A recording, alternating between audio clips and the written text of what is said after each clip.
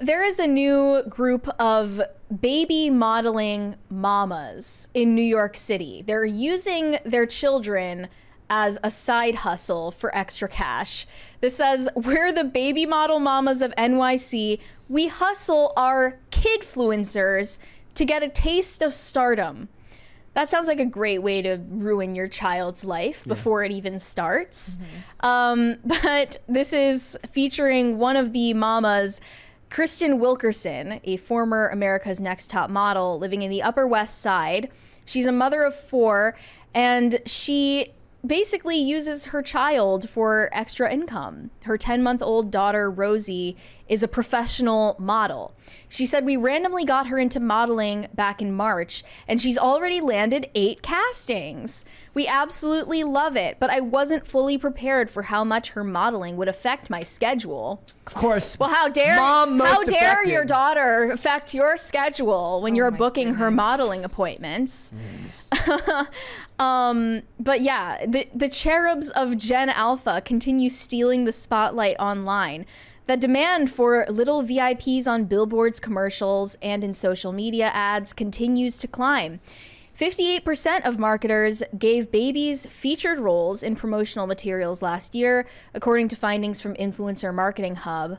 Um, but she wasn't the only person featured in this article. It's this is a growing movement of moms in New York City who are using their kids in this money. economy, in Bidenomics, to make an extra income in the family. And there's just more space for advertising in general. I was reading this article earlier about hydro sta- the uh, the Minneapolis St. Paul Airport is the first to implement hydro stations. If it sounds like a water fountain, that's exactly what it is. But basically, so it's one of these things that not only does it fill your water bottle, it virtue signals by telling you how many single-use plastic bottles they've saved Oh, every yeah, time you yeah. fill it up, and also it forces you to look at ads for the 16 seconds that it takes to fill up your water bottle. So there's just 9,000 million different places that you can put ads nowadays that people see. Right. Um, Opportunities abound. Yeah, Gas station while you're paying. Little yes. Screen. yeah, exactly. ads. I told you I saw I, I saw a Sheetz taco ad on a billboard recently, probably because they save their important ads for non, you know, for advertising in the 21st century, not something from, you know, years past. Uh, another one of the moms whose baby is signed to a modeling agency in Midtown said the world of baby modeling is really fast paced. Uh, if I haven't already told them that we weren't available on a specific day, they're expecting Rosie to show up as soon as she's hired. I'm a pastor and tra- traveling speaker with three older kids, so I usually have a lot of things to move around for Rosie's schedule. She's gonna crawl. but it's a to- blessing. She's gonna have to crawl to that audition herself. Yeah, she's gonna need to call her daughter an Uber. Yeah. the agent will pick her up when she gets there. Um, but she said these shoots last around two to four hours, and Rosie usually earns a flat rate. A small bit of her earnings pay for diapers and food, but we're more invested in making sure Rosie feels happy and confident for as long as she wants to continue modeling.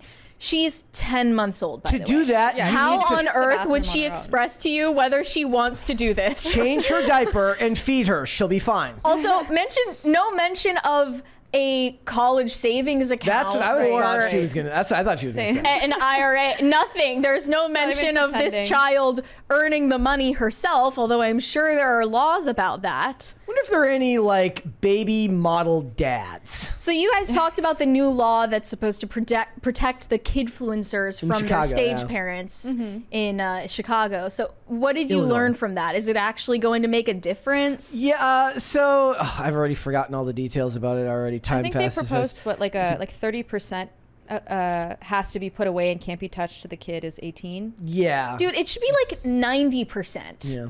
Because Yeah, that it was- it just I it was 30 or incentivizes these stage parents to use their kids' money. Well, also, like I was like, what what officially qualifies you as an influencer? Does it mean you get paid for your social media Yeah. Mm-hmm. platform? Does it mean you have to have over a certain follower count? Does that follower account uh, change depending on the platform?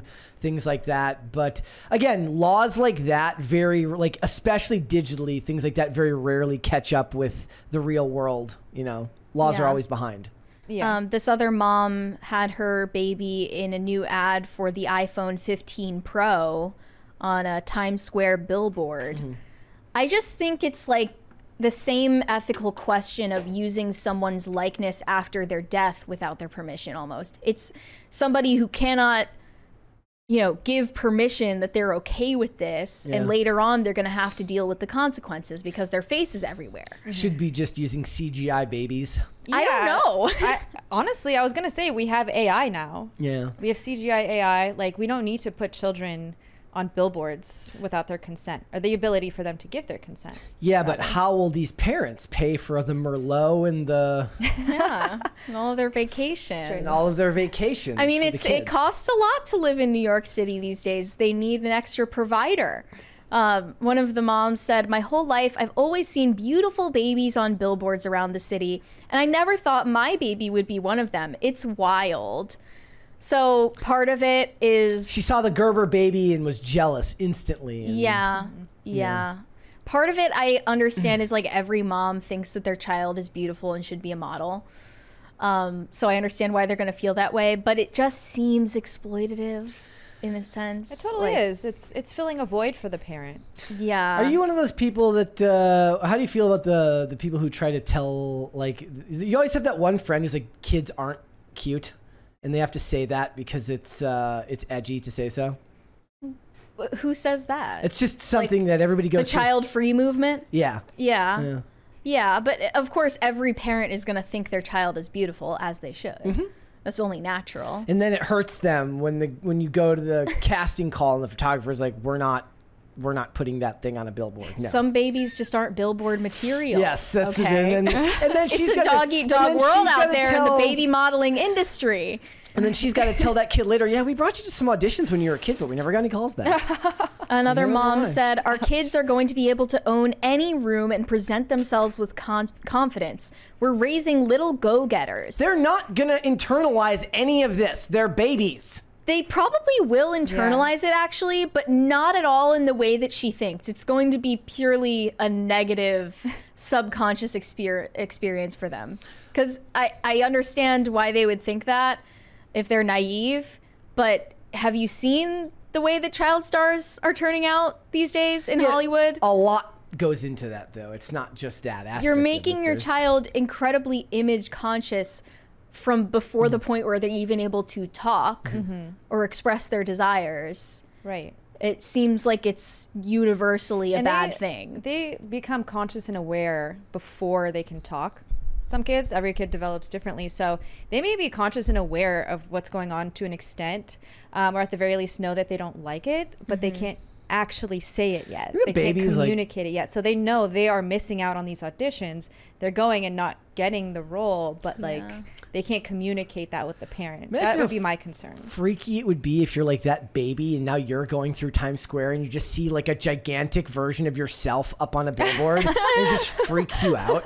Yeah, like babies learn how to recognize themselves in the mirror at a certain age. I don't know if they can Oh, recognize so- themselves on a billboard. In the chat. that would really mess with someone's ego. In the chat, uh, Just Here to Ruckus says Brett was the Nirvana baby. He keeps suing because Yeah. of the cover to Nevermind. Said it was sexual What? harassment Yep. or something. And they and he uh, well he like he celebrated the album cover when he was in his early 20s and then he tried to sue. then he recontextualized. Yes, exa- a therapist help him recontextualize what happened to The, him. the only baby model that turned out well was the one who was the Teletubby sun. Yes, because she has a kid. now. Yes. Now, her, Who her looks like baby the- is the Teletubby sun. Yeah. It's beautiful. Thanks for watching. Listen to full episodes of Pop Culture Crisis on Spotify Keep up with us on social media and make sure you subscribe and ring that bell so you never miss the show. Bye, guys.